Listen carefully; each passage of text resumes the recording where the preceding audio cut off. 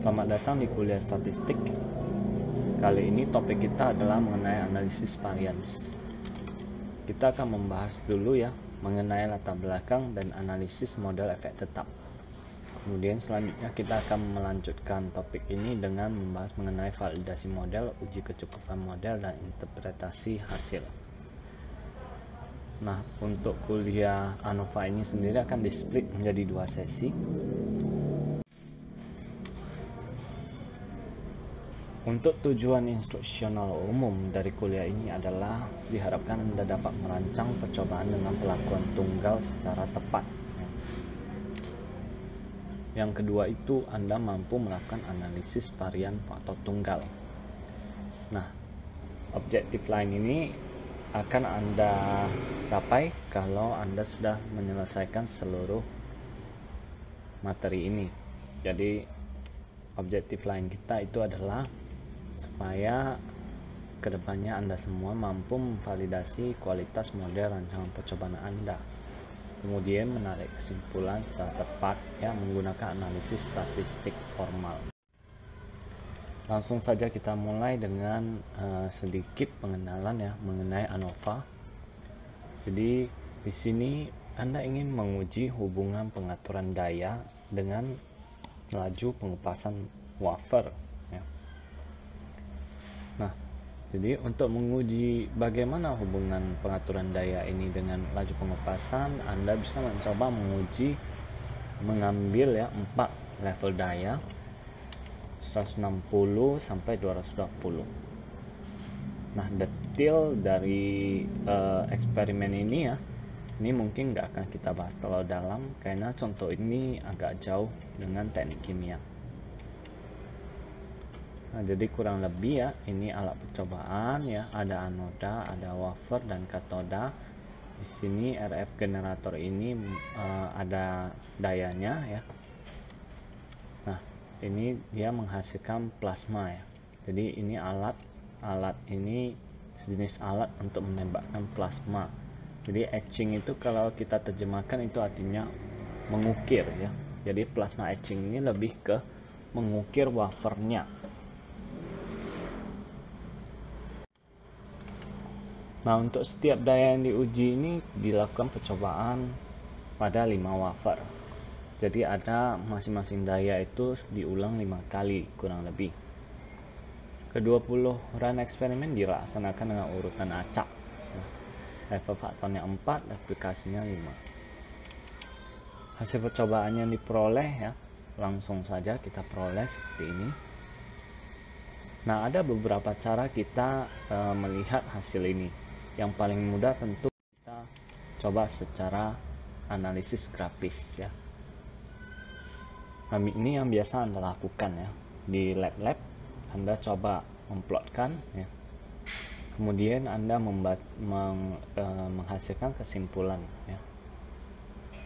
Nah, tapi sebenarnya ada beberapa cara yang lebih meyakinkan ya, selain analisis secara visual. Yang visual ini kalau dia bedanya sejauh ini mungkin nampak ya. Kita bisa simpulkan dengan meyakinkan tapi kadangkala ya, visual ini bisa menipu. Jadi bayangkan kalau skala ini bukan 550 sampai 750, tapi 550 sampai 555. Ya dengan ada kenaikan yang sedikit ini. Apakah Anda masih yakin ya pengaruh dari daya itu signifikan terhadap laju pengupasan? Nah, kalau Anda ragu ya, kita bisa ke cara yang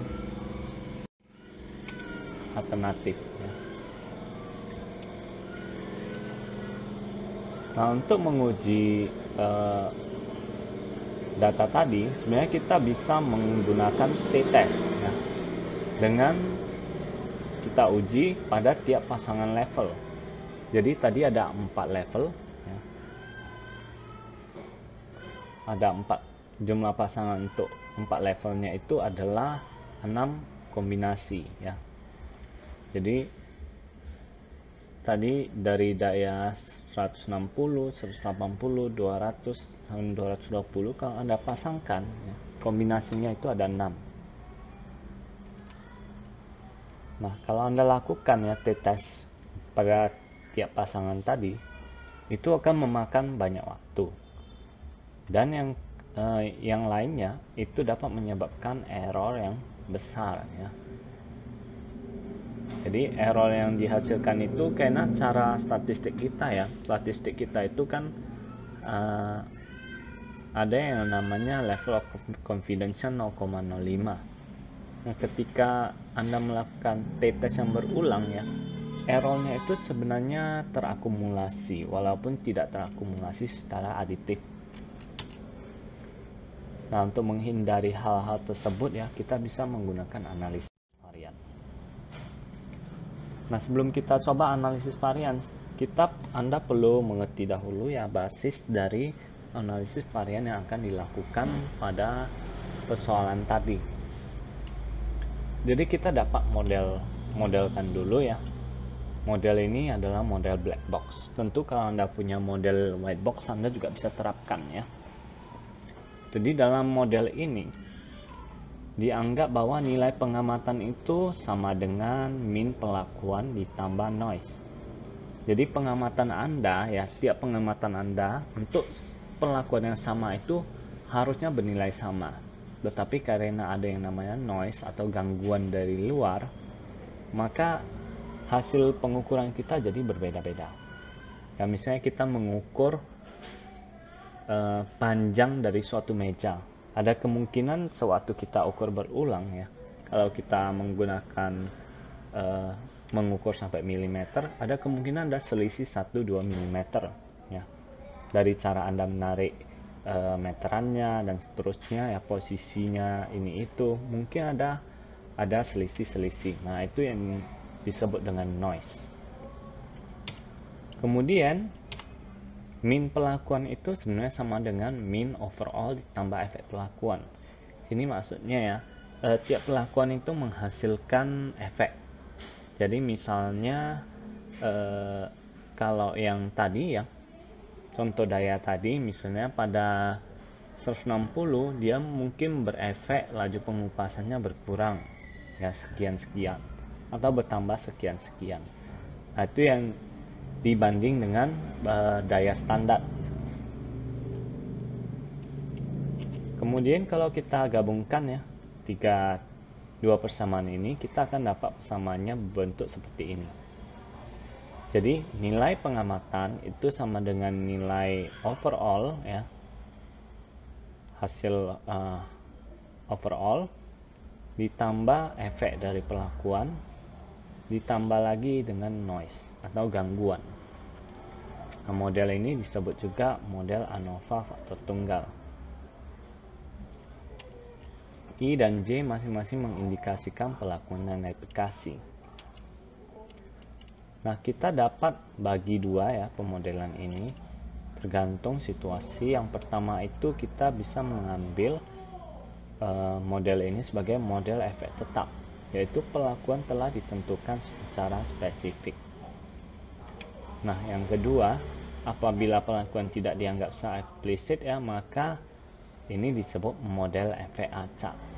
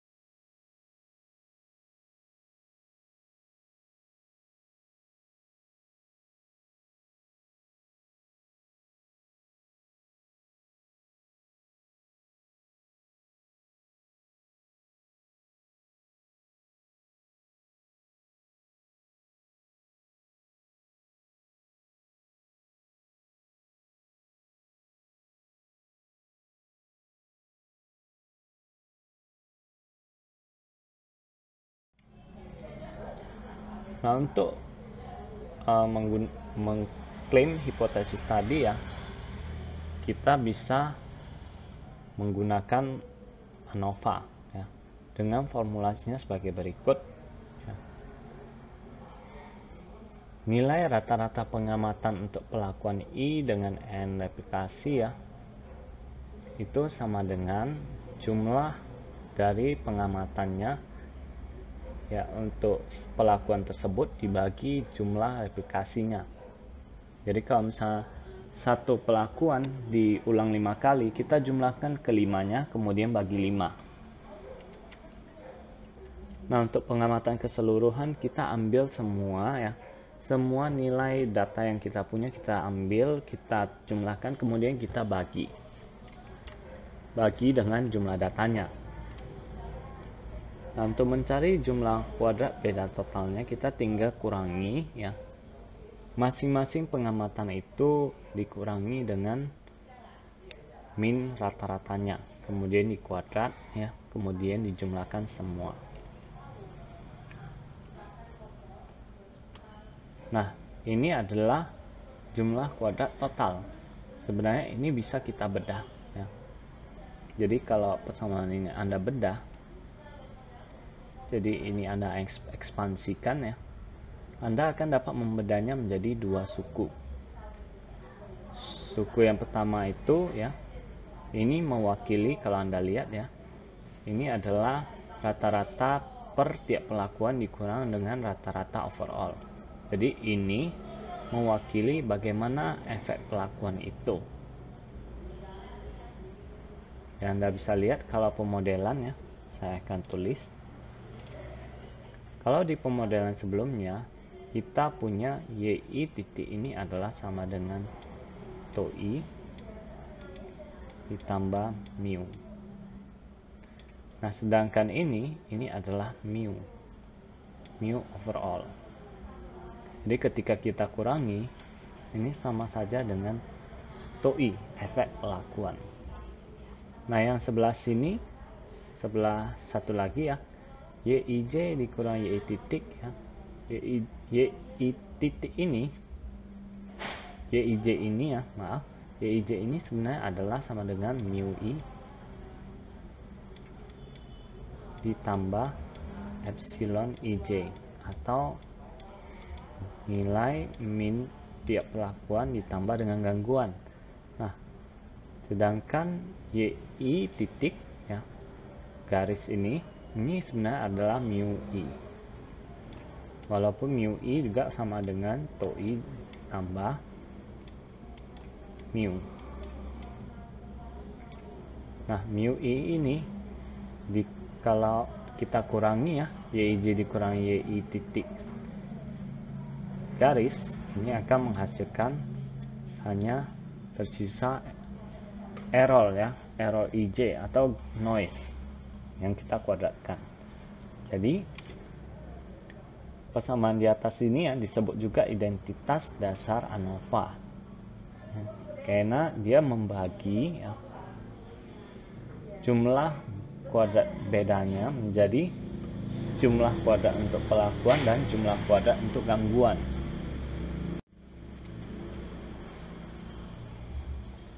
Nah, sekarang kita punya dua, kita bisa memilah ya jumlah kuadrat totalnya menjadi dua. Pertama adalah yang dari pelakuan dan kedua adalah dari error. Nah kemudian kita bisa ekspresikan kedua jumlah kuadrat tersebut dalam bentuk min kuadrat rataan.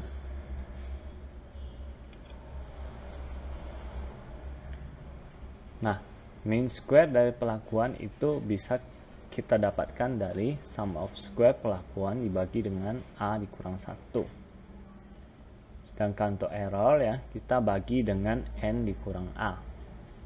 Jadi A itu kalau anda ingat A itu adalah jumlah pelakuan ya. Jadi kalau misalnya anda ada empat pelakuan ya tinggal dikurang satu. Sedangkan N besar itu adalah jumlah dari totalnya, total data kita. Ya. Dikurang dengan jumlah pelakuan. Nah, di sini kita akan mendapat ya yang ini mewakili ya error yang dihasilkan uh, bukan error lah, efek dari pelakuan. Yang ini merupakan efek dari gangguan dalam bentuk variabilitas. Ya. Jadi kalau Anda ingat ya, materi kita yang sebelumnya mengenai analisis uji varian. Nah, jadi MS pelakuan ini variabilitas antara pelakuan dan MSE variabilitas dalam tiap pelakuan. Nah, dengan membandingkan kedua ini, kita bisa ya, kalau Anda ingat uji varian kita yang terdahulu, uji F-test ya. Dengan membandingkan dua varian varian ini, kita bisa tahu apakah mereka berasal dari sumber yang sama. Nah, jadi itulah dasar dari analisis ANOVA. Kita ingin tahu apakah variabilitas dan pelakuan ini diakibatkan memang betul-betul oleh pelakuan atau memang sumbernya sama. Sumbernya adalah noise, bukan pelakuan. Nah, jadi kita bisa menggunakan f-test ya dengan formulasi sebagai berikut. Kita bandingkan pelakuan dengan error. Nah, ini ini ada cara cara lain untuk mencari sum of square total dan sum of square pelakuan. Nah, setelah kita dapat kita bandingkan, kemudian kita bandingkan nilai F hitung kita ini dengan F rujukan.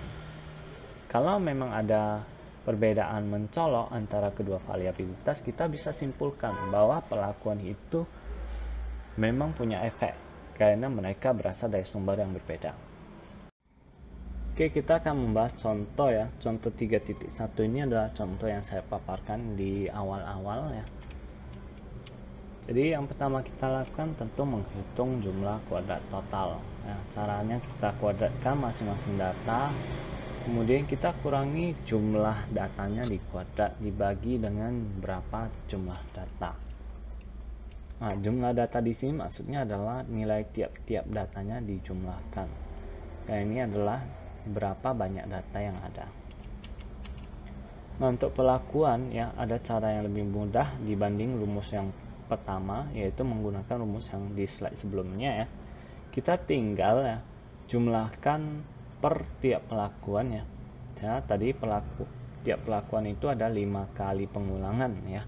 Berarti kita jumlahkan 5 data 5 pengulangan tadi kita jumlahkan kemudian kita kuadrat masing-masing kita bagi dengan 5 kali ya karena ini terdiri dari 5 data kita bagi 5 lagi ya ini terdiri dari 20 data kita bagi 20 Nah, kemudian kita menghitung jumlah kuadrat error ya, tinggal dikurang aja. Caranya lebih mudah. Kita dapat sekian. Kemudian kita menghitung ya kuadrat rataan. Kita bagi atau Anda bisa langsung mencari nilai F-nya ya. Tapi saya sarankan Anda mencari dulu kuadrat rataan masing-masing. Untuk pelakuan ya kita bagi dengan jumlah pelakuan dikurang satu. Jadi 4 eh, 4 dikurang 1. Jadi 3. Nah, untuk error kita bagi dengan jumlah data kita dikurang tadi pelakuan kita ada 4 jadi 20 dikurang 4 jadi 16 kita dapatkan F hitung kita itu 66,8 ya untuk memastikan apakah memang uh, angka ini menunjukkan variabilitas pelakuan itu signifikan dibanding dengan variabilitas error, maka kita tinggal bandingkan dengan rujukan. Untuk F 0,05 ya, derajat kebebasan yang pertama 3, yang kedua ini 16, terdapat nilainya adalah 3,24. Nah, karena F hitung itu jauh di atas dari F uh, rujukan, maka kita menolak H0 dan dapat kita simpulkan pelakuan itu memang punya pengaruh dalam eksperimen ini. Nah, secara visual ya penyelesaian tadi bisa kita ringkas menjadi bentuknya seperti ini. Nah, sedangkan arti dari F66,8 itu adalah dalam grafik probabilitasnya. Kemungkinan dia terjadi itu sudah sebesar luas area di bawah kurva ini ya ke jumlahnya sampai seterusnya yang mana itu jauh di bawah 0,01 sebenarnya nah bahkan untuk F 0,01 atau satu persen kemungkinan itu juga masih nilai F-nya berkisar antara 5 dan 6 sedangkan ini sudah 66,8 jadi sudah sangat-sangat jauh ya. Sangat-sangat kecil kemungkinan terjadi eh, variabilitas yang kita perhatikan ya lewat pelakuan itu terjadi karena error. Sangat kecil. Nah itulah materi kita untuk kuliah kali ini. Kita akan melanjutkan lagi ya kita akan melanjutkan ke materi ini di pertemuan selanjutnya.